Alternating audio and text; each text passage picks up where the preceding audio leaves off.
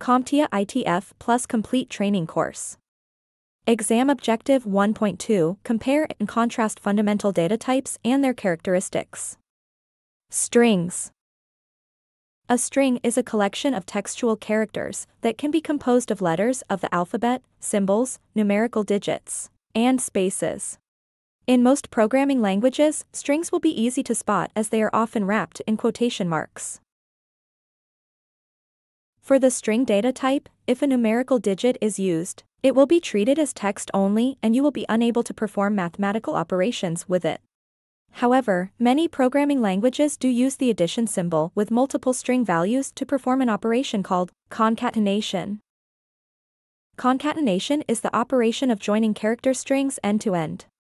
By doing so, this operation converts multiple strings into a single string. To demonstrate, we will take the string cyber and concatenate it with the string security. This will result in a single string value of a cybersecurity. The string data type also supports relational operations. Strings are compared one character at a time. When different characters are found, then their binary code point values are compared. The character with the lower code point value is considered to be smaller. Here we will compare the string hello and the string hi. We start at the beginning of the strings. Both have a capital H, so we move on to the next letter in each string. We see lowercase e and lowercase i are different, so we will compare their binary code point values.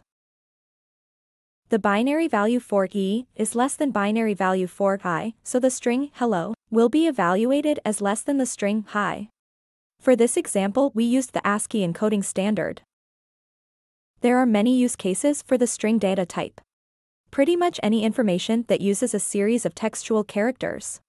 In this example, first and last name fields would certainly be great candidates for the string data type. Thank you for watching. Subscribe for more great content.